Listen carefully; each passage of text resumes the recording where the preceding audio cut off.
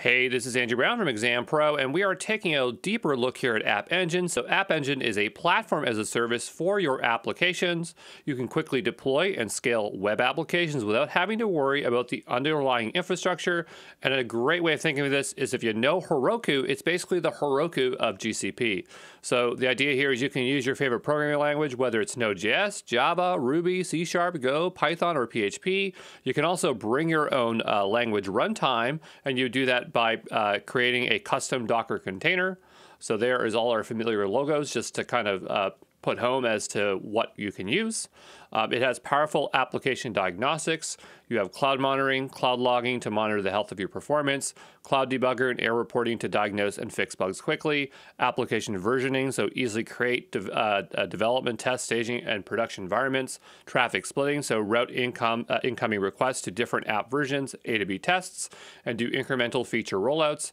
You have application security, so defining access rules with App Engine Firewall, uh, and you can leverage manage SSL TLS certification uh, certificates by default. So the idea is that you have all this infrastructure, and this is not even the full list, but all this stuff uh, around your application uh, uh, that you would uh, generally have to do yourself, but they do it all for you. Okay. Uh, now, there are two types of environments that you can launch with App Engine. You got flexible and standard. It's very, very, very important that you know the difference for the exam because they will have scenarios where you have to pick one or the other, okay? So you can simultaneously use both environments for your application. So it's not you have to use one or the other. It just depends on what kind of workload you're running. Uh, an App Engine is well suited to applications that are designed using microservice architecture. So splitting it down the line, let's talk about standard, and then we'll talk about flexible. So standard, I would describe as being serverless compute. So it starts in seconds. It's going to run in a sandbox, meaning that there's a uh, like you don't have uh, like you're not uh, deploying a container. It's just you're uploading your code. Okay. It's designed for rapid scaling, so it can handle uh, sudden spikes of uh, traffic.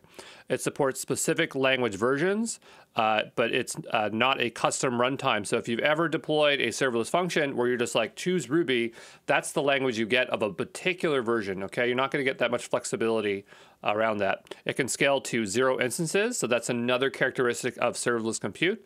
Its pricing is based on hours. Uh, it cannot uh, you cannot use SSH to debug it, which is very common for serverless apps. Uh, there are no background processes. When we're looking at flexible, these are fully managed containers. So it starts in minutes, uh, runs with Docker containers on uh, compute engine uh, VM. So that's what it's doing underneath. It, it's designed for predictable and consistent traffic. It supports uh, generally any language version, or uh, you can run a custom uh, runtime must have at least one instance running. The pricing is based on vCPUs, memory, and disk.